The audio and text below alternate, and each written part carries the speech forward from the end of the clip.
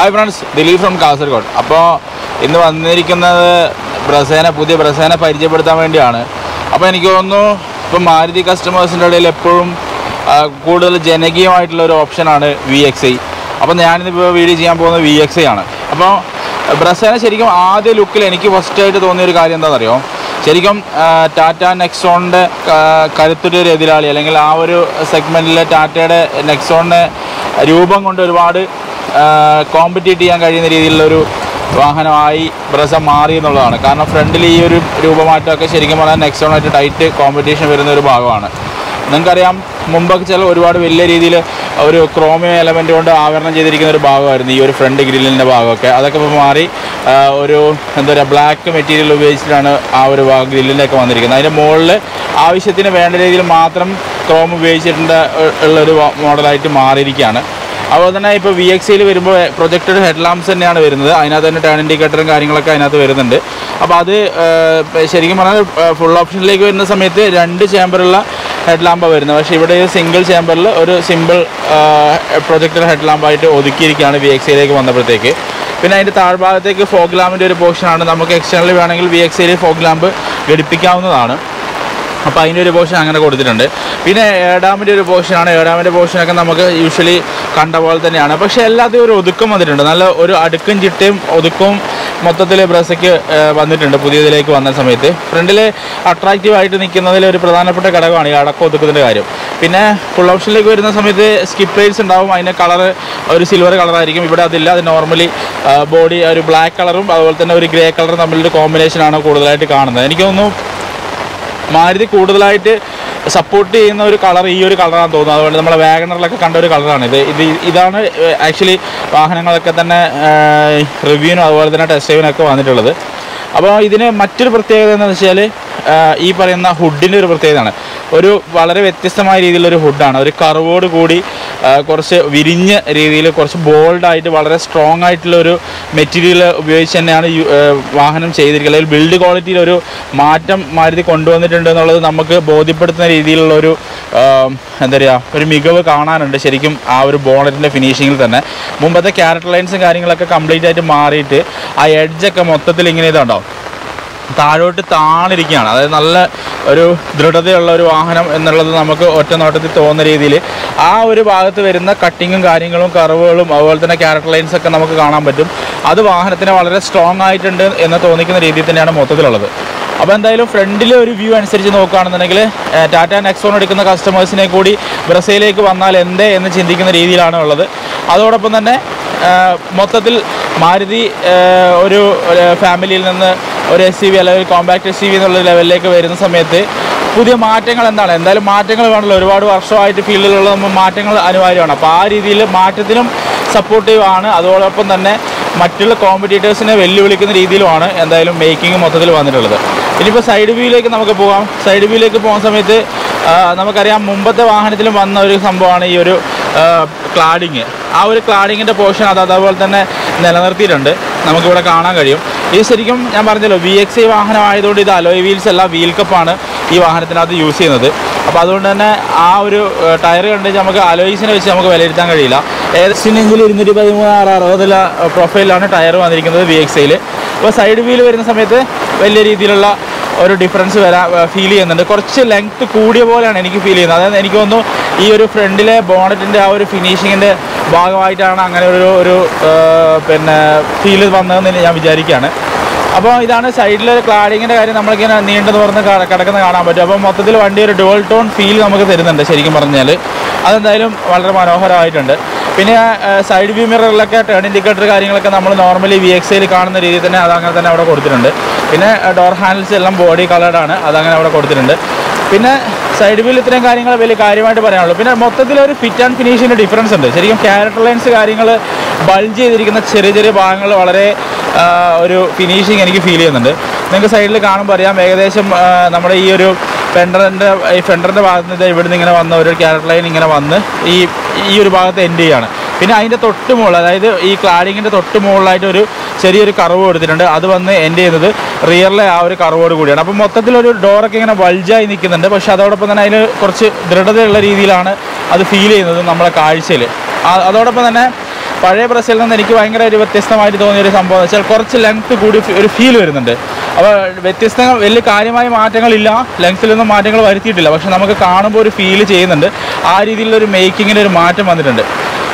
അപ്പോൾ ഇത്രയും കാര്യങ്ങളാണ് സൈഡ് വ്യൂയിലേക്ക് വരുന്ന സമയത്ത് ഫീൽ ചെയ്യുന്നുള്ളത് പിന്നെ റിയറിലാണ് ഏകദേശം റിയൽ ഹീറോ എന്ന് നമുക്ക് വിശേഷിപ്പിക്കാൻ കഴിയും. കാരണം റിയറിൽ ശരിക്കും ടാറ്റ നെക്സോണായിട്ട് കമ്പയർ ചെയ്ത് നമ്മൾ സംസാരിക്കുകയാണെന്നുണ്ടെങ്കിൽ റിയറിലെ ഒരു വ്യൂവിനാണ് ശരിക്കും മാറ്റം വേണമെന്ന് ആഗ്രഹിക്കുന്നത്.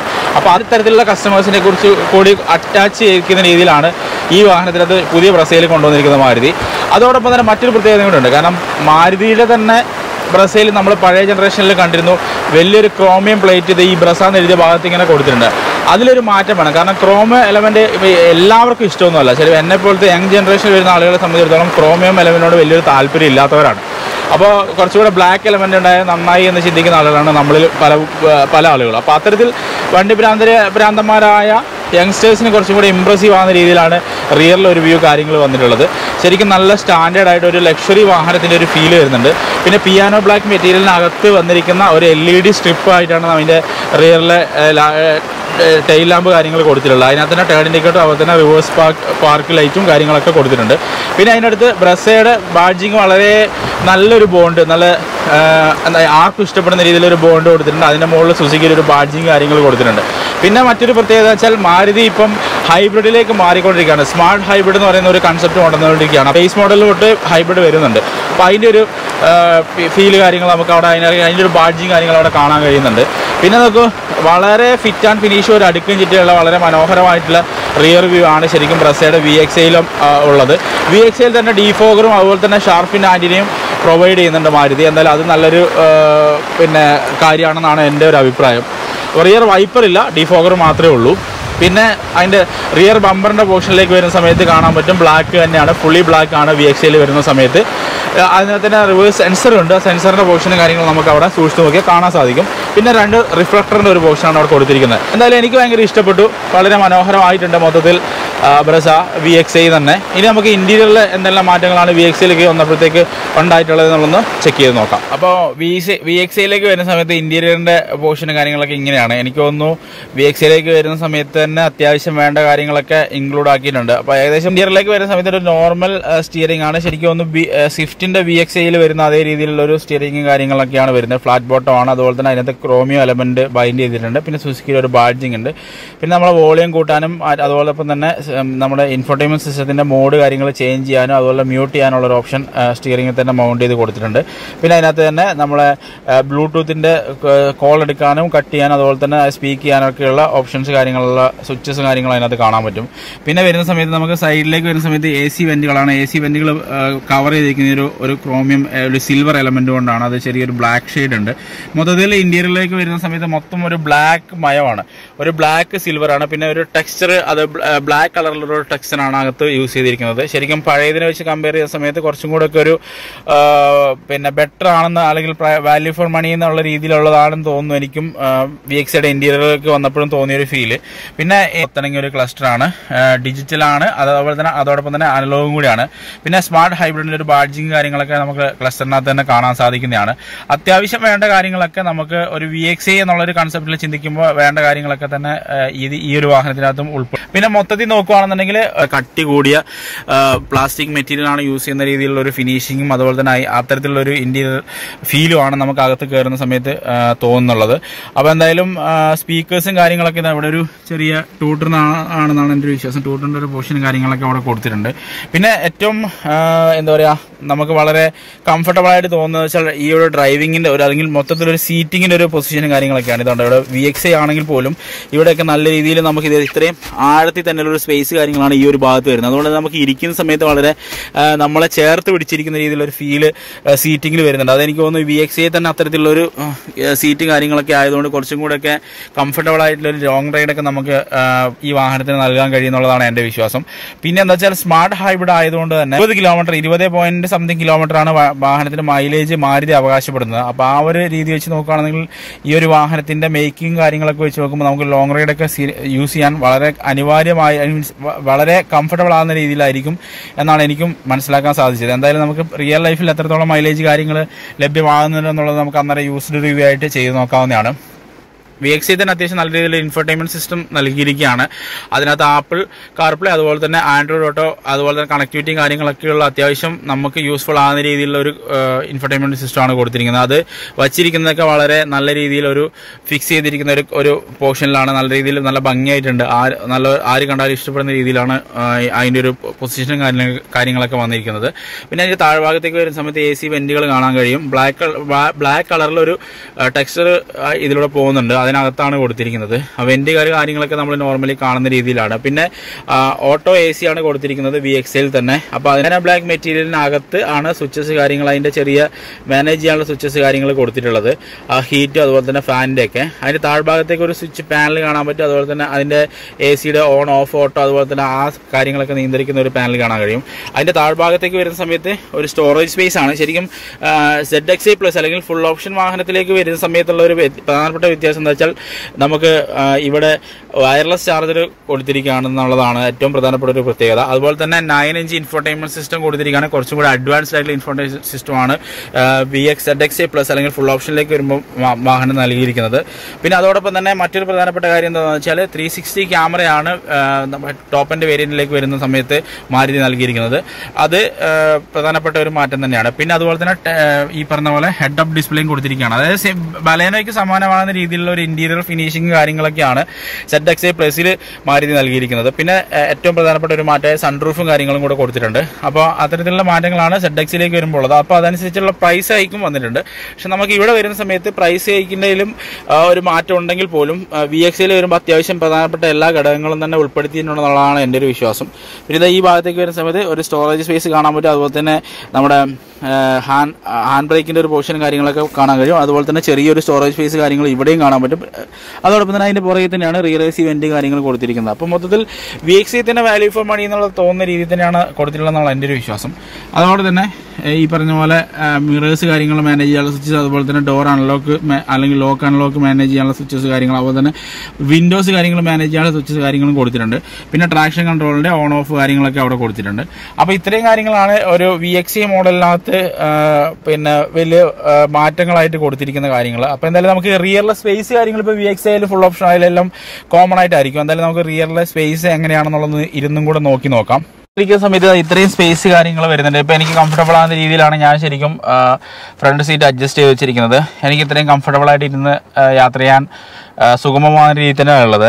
പിന്നെ കുറച്ച് സീറ്റിന്റെ ഹൈറ്റിൽ ഒരു ഡിഫറൻസ് വന്ന രീതിയിലൊരു ഫീൽ എനിക്ക് പഴയതായിട്ട് കണക്ട് ചെയ്ത് നോക്കുമ്പോൾ പുതിയ ബ്രസയിൽ വന്നിട്ടുണ്ടെന്ന് എനിക്കൊരു സംശയമില്ല ഇല്ലാതില്ല. പിന്നെ തൈ തൈ സപ്പോർട്ടിന്റെ ഒരു സ്പേസും കാര്യങ്ങളൊക്കെ വളരെ കംഫർട്ടബിൾ ആയിട്ടൊരു ഫീൽ കിട്ടിയിട്ടുണ്ട്. എന്തായാലും യാത്ര ചെയ്യുന്ന സമയത്ത് ലോങ് റൈഡൊക്കെ യാത്ര ചെയ്യുന്ന സമയത്ത് കുറച്ച് ഒരു കംഫർട്ടബിൾ ലെവൽ കുറച്ച് കൂട്ടിയതായിട്ടുള്ളതാണ് എന്റെ ഒരു ഫീലിൽ തോന്നിയ ഒരു കാര്യം. നമുക്ക് എന്തായാലും യൂസ്ഡ് റിവ്യൂ എടുക്കാം. അന്നേരം അത്തരത്തിൽ യൂസ് ചെയ്ത ആളുകളുടെ നിലപാടും കാര്യങ്ങളും കൂടെ അറിയാൻ പറ്റുമല്ലോ. അപ്പോൾ ഇത് ഇതാണ് ഇതുപോലെ നമ്മുടെ ഡോറിൽ തന്നെ ഹാൻഡ് റെസ്റ്റിന്റെ അല്ലെങ്കിൽ ആം റെസ്റ്റിന്റെ ഒരു പോർഷനും കാര്യങ്ങളും കൂടെ കൊടുത്തിട്ടുണ്ട്. പിന്നെ ഫുൾ ഓപ്ഷൻ വാങ്ങലിലേക്ക് വരുന്ന ഫുൾ ഓപ്ഷനിലേക്ക് വരുന്ന സമയത്ത് ഇതുപോലെ തന്നെ റിയറിൽ ഒരു ആം റെസ്റ്റും അതോടൊപ്പം തന്നെ അതിനകത്ത് തന്നെ നമുക്ക് കപ്പ് ഹോൾഡർ സ്പേസും കാര്യങ്ങളൊക്കെ കൊടുത്തിട്ടുണ്ട്. ഇവിടെ റിയർ എ സി കാര്യം ഞാൻ നേരത്തെ പറഞ്ഞിരുന്നല്ലോ. അപ്പോൾ അത്തരത്തിൽ ഫ്രണ്ടിൽ നമുക്ക് എനിക്ക് കംഫർട്ടബിൾ ആകുന്ന രീതിയിൽ അഡ്ജസ്റ്റ് ചെയ്തിട്ടും എനിക്ക് റിയറിൽ ഇത്രയും സ്പേസ് കാര്യങ്ങൾ കിട്ടുന്നുണ്ട്. എന്തായാലും മൂന്ന് പേർക്ക് കംഫർട്ടബിൾ ആയിട്ട് റിയറിൽ ഇരിക്കാൻ കഴിയുന്നുള്ളതാണ് ഈ വാഹനത്തിന്റെ ഏറ്റവും വലിയൊരു പ്രത്യേകത ഉള്ള ഒന്ന് എടുത്തു പറയാം. കാരണം ചില സമയത്ത് ഫൈവ് സീറ്റർ വാഹനം ആയാലും മൂന്ന് പേർക്ക് കംഫർട്ടബിൾ ആയിട്ട് ഇരിക്കാൻ കഴിയണമെന്നില്ല. പക്ഷെ ഇവിടെ അങ്ങനെയല്ല. മൂന്ന് പേർക്ക് കംഫർട്ടബിൾ ആയിട്ട് ഇരിക്കാൻ കഴിയുന്നുള്ളത് നമുക്ക് ഏകദേശം ഈ ഒരു വാഹനത്തിന്റെ റിയറിൽ ഞാൻ ഇരുന്ന് നോക്കുമ്പോൾ മനസ്സിലാവും അത്രയും സ്പേസ് വാഹനത്തിനകത്ത് കാണാൻ സാധിക്കുന്നതാണ്. അപ്പോൾ എന്തായാലും റിയറിൽ വന്നിരിക്കുന്ന ഒരു മാറ്റവും സ്പേസിന്റെ കാര്യത്തിലൊന്നും വലിയ മാറ്റങ്ങൾ സംഭവിച്ചില്ല. കാരണം വെച്ചാൽ വീൽ ബേസിന്റെ കാര്യങ്ങൾ അതുപോലെ ലെങ്ത് വിടത്തിലൊന്നും മാറ്റങ്ങൾ കാര്യമായ രീതിയിൽ വന്നിട്ടില്ല. അതോടൊപ്പം തന്നെ എഞ്ചിന്റെ ഭാഗത്തേക്ക് വരുവാണെന്നുണ്ടെങ്കിലും കാര്യമായ മാറ്റമൊന്നും എഞ്ചിനിൽ വന്നിട്ടില്ല. രണ്ട് ബി എച്ച് പി കുറയാണ് ചെയ്തത്. അപ്പം സ്മാർട്ട് ഹൈബ്രിഡായി നമുക്ക് മൈലേജ് കൂടുതൽ ലഭ്യമാകുന്ന രീതിയിലേക്കും മാറിയിട്ടുണ്ട്. അപ്പോൾ ആ ഒരു മാറ്റം അതുകൊണ്ട് നല്ലതിനേക്കായിരിക്കുമെന്ന് നമുക്ക് വിശ്വസിക്കാനും കഴിയും. അപ്പോൾ അത്തരത്തിൽ എന്തായാലും കംഫർട്ടബിൾ ആകുന്ന രീതിയിലുള്ള ഒരു സ്പേസ് കാര്യങ്ങളാണ് റിയറിലുള്ളത് വി എക്സ് എന്ന് പറയുന്ന ഒരു വാഹനത്തെ നമ്മൾ തിരഞ്ഞെടുക്കുമ്പോൾ എനിക്ക് തോന്നുന്നു എന്തുകൊണ്ടും നിങ്ങളുടെ ഫാമിലിയെ സംബന്ധിച്ചിടത്തോളം ബഡ്ജറ്റ് വെച്ച് നോക്കുകയാണെന്നുണ്ടെങ്കിൽ കുറച്ചും കൂടെ കംഫർട്ടബിൾ ആയി ഫീൽ ചെയ്യാനാണ് സാധ്യത എന്നാണ് എന്റെ ഒരു വിശ്വാസം. അപ്പോൾ എന്തായാലും നിങ്ങൾ ആ രീതിയിലൊന്ന് ചിന്തിച്ച് നോക്കൂ. ഈ വി എക്സ് ഐ വാഹനങ്ങൾ നിങ്ങൾക്ക് എടുക്കാൻ ആഗ്രഹമുണ്ടെങ്കിൽ ഒന്ന് ഷോറൂമായി വിസിറ്റ് ചെയ്ത് നോക്കാവുന്നതാണ്. അപ്പോൾ നമുക്കിനി ബൂട്ട് സ്പേസിന്റെ കാര്യങ്ങൾ എങ്ങനെയാണെന്നുള്ളതും കൂടെ ഒന്ന് നോക്കാം. വളരെ വിശാലമായ രീതിയിലുള്ള വലിയൊരു ബൂട്ട് സ്പേസ് ആണ് ഇവിടെ കൊടുത്തിരിക്കുന്നത്. നമുക്ക് എന്തായാലും നമ്മുടെ അത്യാവശ്യ സാധനങ്ങളൊക്കെ ക്യാരി ചെയ്ത് കൊണ്ടുപോകാൻ കഴിയുന്ന രീതിയിലുള്ള ബൂട്ട് സ്പേസ് ആണ് നൽകിയിരിക്കുന്നത്. നോക്കി നല്ല രീതിയിലുള്ള വലിയൊരു സ്പേസ് ആണ്. അതിന്റെ താഴ്ഭാഗത്താണെങ്കിൽ ഒരു നമ്മുടെ സ്പെയർ ടയറിന്റെ ഒരു പോർഷനും കാര്യങ്ങളും നമുക്ക് ഇവിടെ കാണാൻ പറ്റും. എന്ന് കാണിച്ചു തരാം. കണ്ടോ? അപ്പോൾ സ്പെയർ ടയർ താഴെ വെച്ചിട്ടും ഇത്തരത്തിലുള്ള നല്ല ധാരാളം നല്ല രീതിയിൽ തന്നെ നമുക്ക് യൂട്ടിലൈസ് ചെയ്യാൻ കഴിയുന്ന രീതിയിലൊരു ബൂട്ട് സ്പേസ് വന്നിട്ടുണ്ട്. അത് എന്ന് വെച്ചാൽ നമുക്ക് ഫ്രണ്ടിൽ അല്ലെങ്കിൽ റിയൽ സെക്കൻഡ് റോയിലേക്ക് വന്നപ്പോഴത്തേക്കുള്ള സ്പേസ് കൂടിയതുപോലെ എനിക്ക് ഫീൽ ചെയ്തു. അതുപോലെ കംഫർട്ടബിൾ കൂടി കൂടിയതുപോലെ എനിക്ക് ഫീൽ ചെയ്തു. അതിന് കണക്കായ രീതിയിൽ തന്നെയാണ് ബൂട്ട് സ്പേസും വന്നിട്ടുള്ളത്. അപ്പം ആ ഒരു ചേഞ്ച് നമുക്ക് ശരിക്കും ബൂട്ട് സ്പേസിൽ ഒതുക്കിക്കൊണ്ടുള്ള ചേഞ്ച് അല്ല. ബൂട്ട് സ്പേസ് അതുപോലെ തന്നെ നിലനിർത്തിക്കൊണ്ടുള്ള ഒരു ചേഞ്ചാണ് എന്തായാലും പ്രസയ്ക്കകത്ത് പിന്നെ മാരുതി നൽകിയിരിക്കുന്ന ഒരു പ്രധാനപ്പെട്ട മാറ്റങ്ങളിൽ ഒന്നായ ഈ പറഞ്ഞ എഞ്ചിനിൽ വലിയ രീതിയിലുള്ളൊരു മാറ്റമില്ല. കെ സീരീസ് കെ ഫിഫ്റ്റീൻ ആ സീരീസിൽ വരുന്ന സെയിം പഴയ എഞ്ചിൻ തന്നെയാണ്. സ്മാർട്ട് ഹൈബ്രിഡ് ആയിട്ടുണ്ട്. അതുകൊണ്ട് തന്നെ നമുക്ക് മൈലേജ് ഇരുപത്തൊന്ന് കിലോമീറ്റർ അതുപോലെ തന്നെ ഓട്ടോമാറ്റിക് ആണെങ്കിൽ അത് പത്തൊമ്പത് പോയിന്റ് ആറ് കിലോമീറ്റർ ആ റേഞ്ചിൽ നമുക്ക് മൈലേജ് കിട്ടുമെന്നാണ് കമ്പനി അവകാശപ്പെടുന്നത്. പക്ഷേ ഒരു കാര്യം കൂടെ മാറ്റമായിട്ട് വരുന്നത് എവിടെയാണെന്ന് വെച്ച് കഴിഞ്ഞാൽ നമ്മുടെ ഓട്ടോമാറ്റിക് സിക്സ് സ്പീഡ് ആയിട്ടുണ്ട്. എ എം ടി ആയിരുന്നത് അത് ടോർക്ക് കൺവെർട്ടർ ആയിട്ടുണ്ട്. അപ്പോൾ ആ ഒരു ഡിഫറൻസിൽ നമുക്ക് എത്രത്തോളം ആ ഗിയർ ബോക്സ് എഫിഷ്യന്റ് ആയിട്ട് വർക്ക് ചെയ്യുന്നുണ്ടോ അതിന്റെ ഡ്രൈവിംഗ് കംഫർട്ട് എത്രത്തോളമാണ് എന്നുള്ളത് അല്ല ആ ലാഗ് ഉണ്ടോ ഇല്ലയോ എന്നുള്ളതൊക്കെ അറിയണമെങ്കിൽ നമുക്ക് ആ ഒരു സിക്സ് സ്പീഡ് വാഹനം ഓടിച്ച് നോക്കണം. മാരുതിയുടെ സിക്സ് സ്പീഡ് ഓട്ടോമാറ്റിക് ഫസ്റ്റ് ടൈമുമാണ് അപ്പോൾ ആ ഡിഫറൻസ് ശരിക്കും ഡ്രൈവിങ്ങിൽ വരുന്ന ഡിഫറൻസിലേക്കുള്ള മാറ്റങ്ങൾ വെച്ചാൽ ആ വാഹനം ഓടിച്ചാൽ മാത്രമേ മനസ്സിലാവുള്ളൂ.